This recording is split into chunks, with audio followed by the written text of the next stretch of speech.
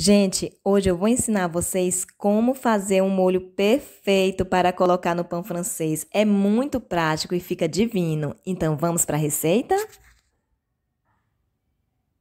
Para fazer o molho, você vai precisar de um ovo, 200 ml de água, uma xícara de trigo, mexendo bem até incorporar, meia xícara de amido de milho, uma colher de fermento,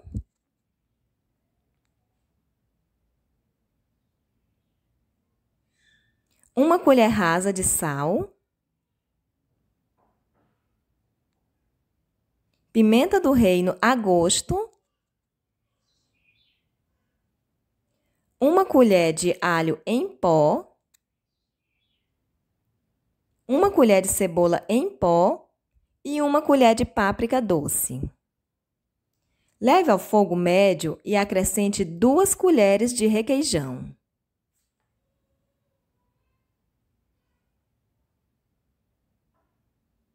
Acrescente cebolinha picada a gosto.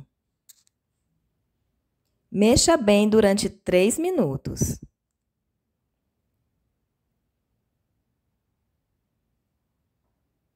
Depois é só rechear o nosso pão francês com esse delicioso molho e jogar queijo mozzarella ou coalho por cima.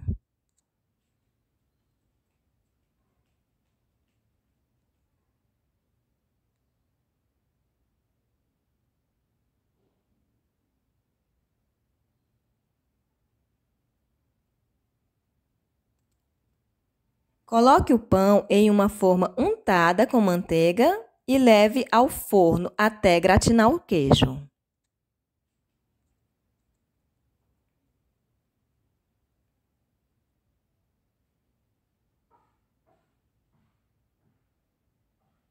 E olha que delícia que ficou. Eu tenho certeza que vocês vão amar esse lanche. Abraço, pessoal. Até o próximo vídeo.